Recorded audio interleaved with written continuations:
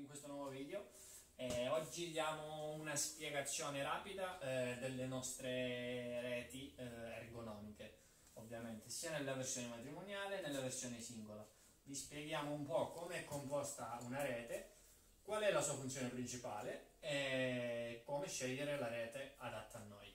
Quindi, partiamo dalla, dal principio basilare di ogni rete e sfatiamo anche un mito che tanti miei clienti quando vengono ad acquistare un materasso mi dicono no la rete è buona è una rete rigida e va benissimo per qualsiasi materasso.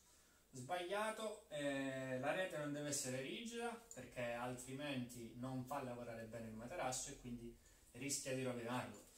Quindi la rete non deve essere rigida per definizione. Alcune reti sono semi-rigide e vanno bene per determinati tipi di materassi.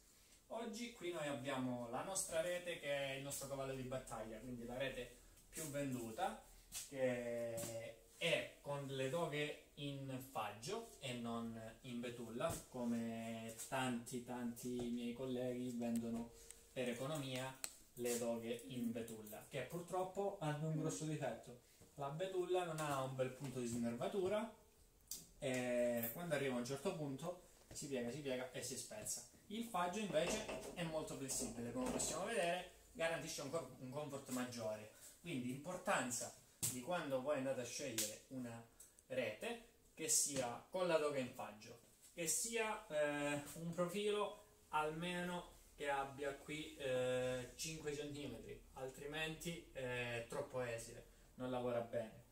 Eh, cosa molto molto molto importante, specialmente nelle reti matrimoniali, che ci siano 14 listelli o doghe, come volete chiamarli. Perché 14? Perché in modo tale che le doghe lavorano tutte eh, in via uh, uniforme e non, non, si crei questo spazio molto maggiorato in modo che eh, quando si mette un materasso in testa se manca questa doga, quindi anziché 14 abbiamo 13, rischiamo che il materasso si piega e alla lunga si possa danneggiare o comunque non ci fa riposare bene. Altra particolarità di queste doghe è che hanno un profilo di alluminio bello spesso, quindi non è la classica rete economica che vediamo in commercio, ma è una rete con profilo più spesso.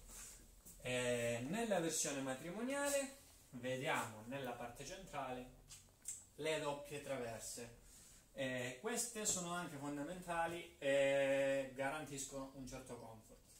È ovvio che queste traverse devono essere collocate sotto le doghe e non sopra, come alcuni modelli di rete eh, sono presenti in mercato e hanno queste traverse, o spesso e volentieri in via centrale hanno quella traversa che ci divide la doga.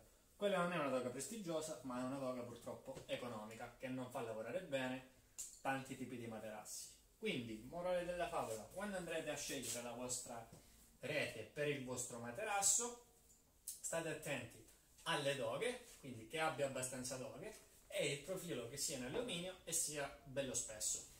Grazie per la vostra attenzione, eh, guardate altri video che vi riportiamo sotto, tutti i nostri collegamenti e lasciate un bel like alla pagina. Alla prossima!